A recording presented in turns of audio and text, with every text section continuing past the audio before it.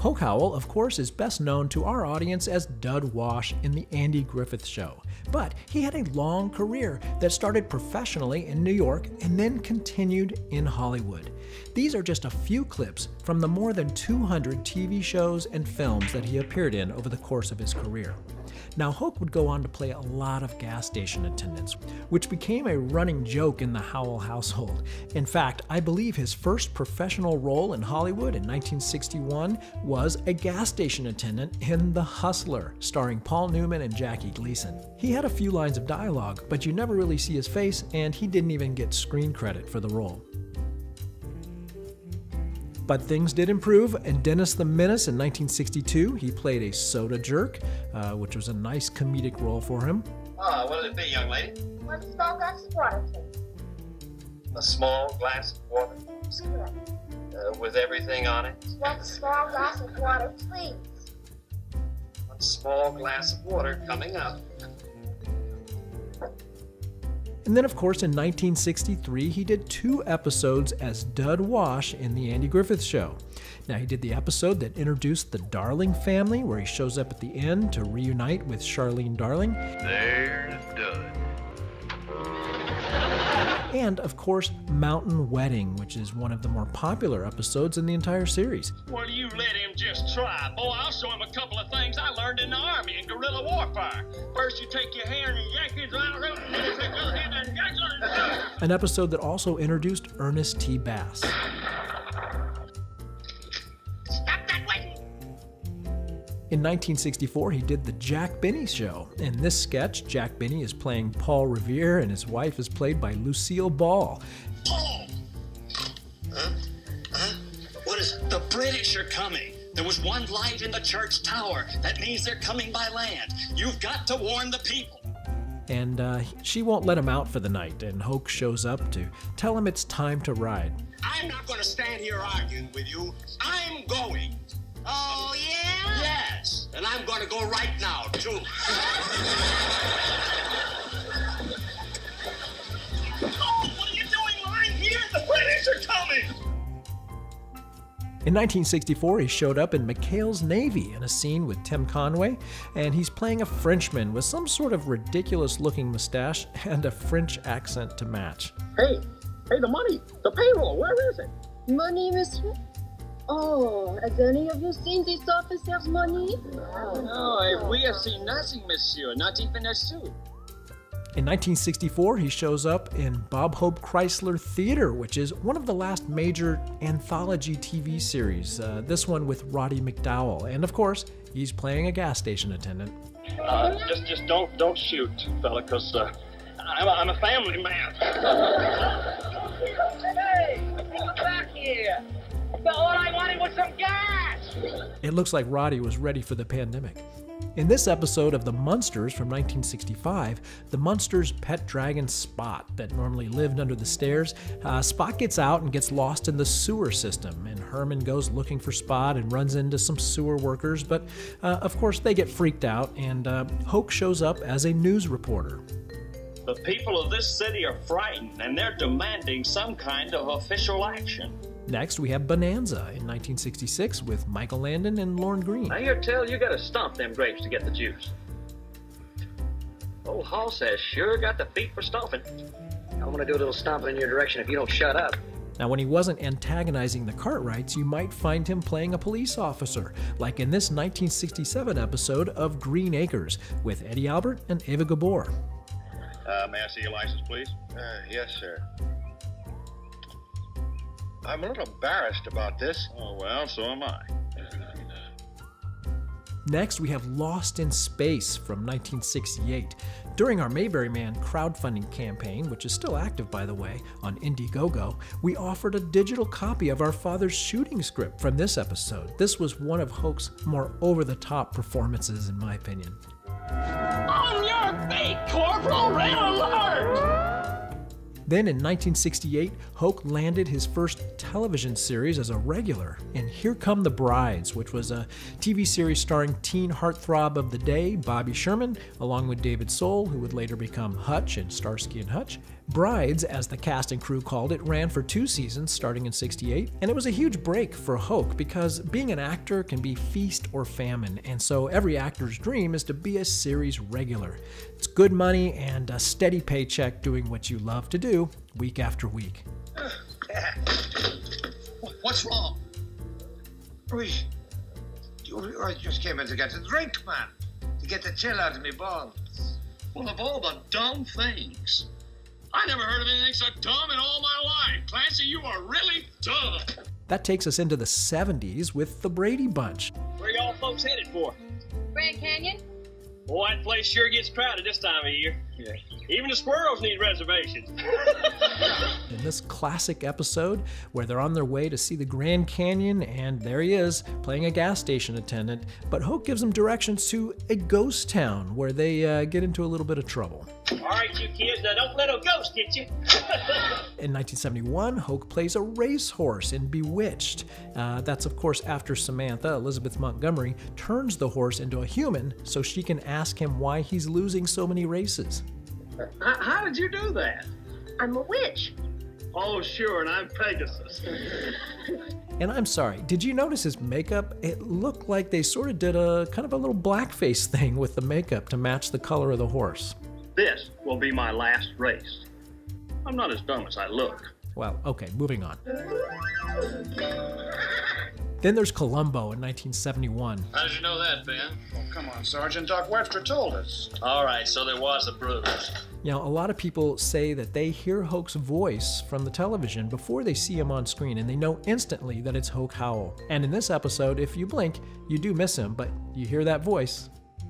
In 1972, there was a TV movie starring Dennis Weaver called Rolling Man. Uh, and then in 73, Slaughter's Big Ripoff, starring Jim Brown and Ed McMahon. This scene didn't turn out too well for Hoke's character. In fact, that image of him being choked out by Jim Brown even became the focal point for the artwork inside the record album for the movie's soundtrack. You wait, wait a minute, wait. Then there's Bob and Carol and Ted and Alice. It was a TV series based on a film by the same title, and this was 1973.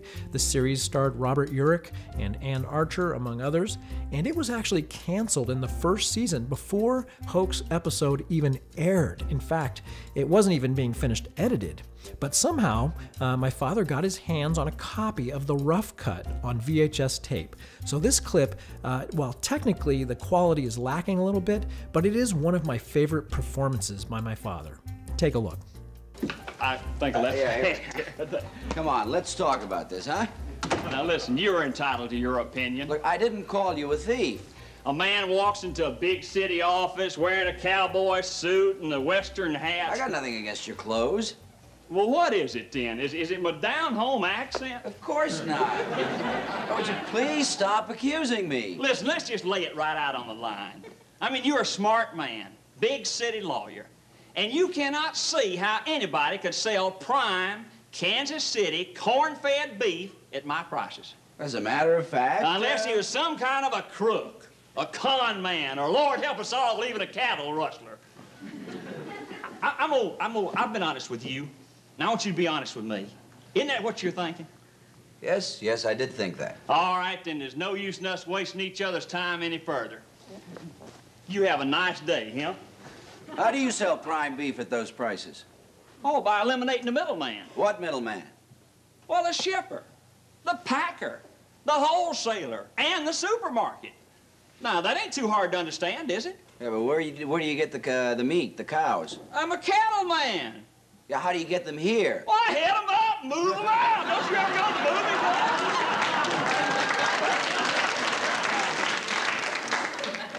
Well, I guess it sounds logical. I mean, what you're, what you're saying is that you've managed to uh, cut your overhead, huh? No, that ain't what I'm saying at all. What I'm trying to tell you is that I am being squeezed. Now, sit down there. I want to show you something. You got another minute? Come on. You got to look at this. Yeah, take a look at that. Is that your family? Left to right there, that's that's Billy Ralph, Gene Roy. That's my wife, Laney.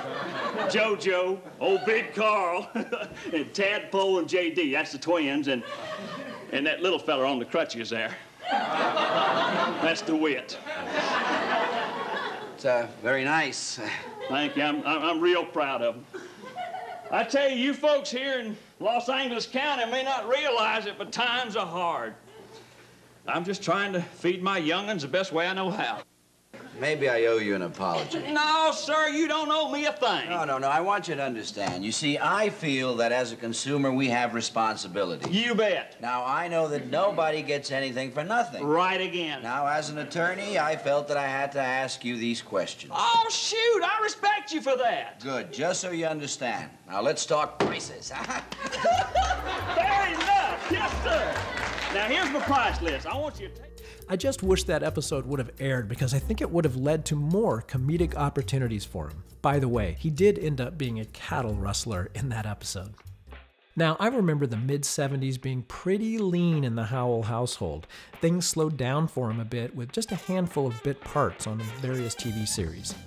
Uh, there was Kung Fu in 1975, The Blue Knight in 76. I am not drunk, Whopper. Well, I'm glad to hear that. No, you, you don't believe me. I can prove it to you. I tell you, you, you give, give me a test. Give me a Okay. test. Mickey Mouse, a dog, or a cat? Mickey Mouse, a dog, or a cat. Let me think. Uh, uh, there was Well, B one, I need a B. You and I got the corner seventh and Alvarado. Well, that don't make any, any sense, does it? I mean, it's like it's like Porky Pig, Right. Tweety Bird, Right. Mickey Mouse. He's, he's, a, he's a mouse. Right. He's a mouse, doesn't it? I got it. But then in 77, uh, he was in two episodes of the first season of CHiPs with Erik Estrada and Larry Wilcox, John and Ponch. Um, the first appearance was actually the pilot episode where he plays a Texas tycoon trying to avoid speeding tickets by warding off radar.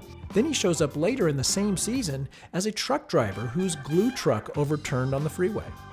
Also in 1977 was Kingdom of the Spiders, a movie starring William Shatner about a town being taken over by spiders. And yes, he does play a gas station attendant. Oh, say, listen, can I help you with something there, right? No, you just go on doing what you're doing. I'm fine. Oh, I appreciate that. God almighty!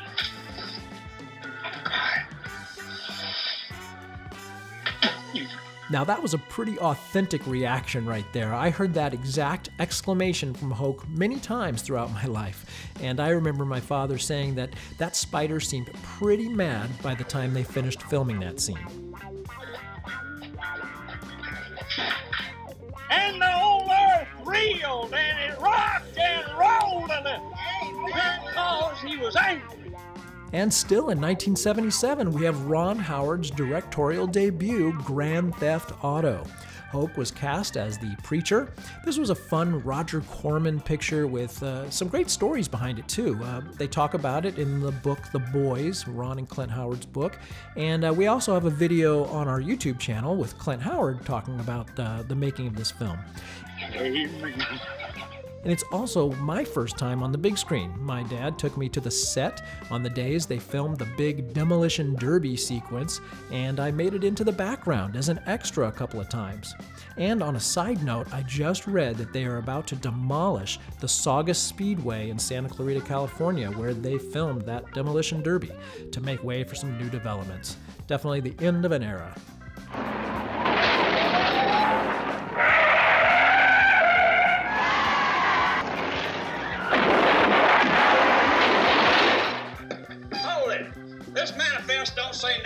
Shipment to Atlanta. Now, in 1979, we have the Dukes of Hazzard. And if you knew my dad, the last thing he would ever want is to be put in a casket. That's literally the reason he gave for wanting to be cremated when he passed away. But the Duke boys didn't seem to care.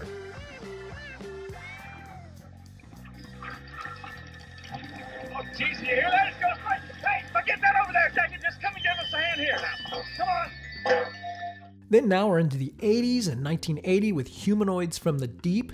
Not a bad movie, pretty creepy, but I thought the best thing was how well they cast my father's son in the film. Definitely a resemblance.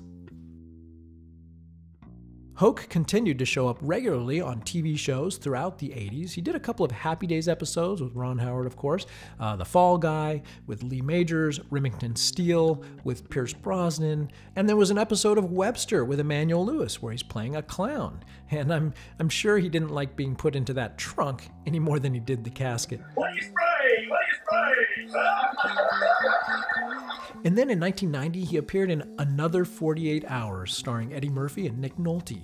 It was a pretty cool part because the first face you see on screen is an extreme close up of Hoke. And you can imagine being in a movie theater, you know, a giant screen, and it's just like bam, right there in your face. So uh, that was fun for him, uh, but it doesn't end well for him. I, I, don't think he even survived the opening credits. Oh, God, Stay where you are, boys. We're just stopping for water.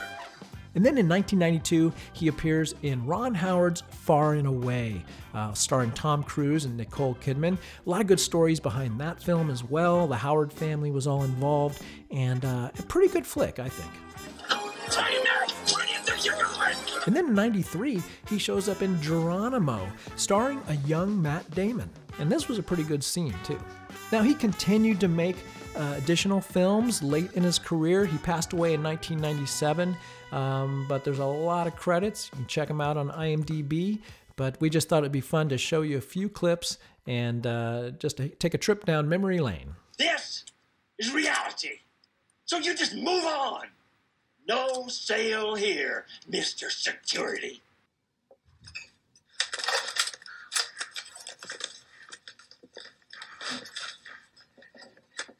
Judgment Day.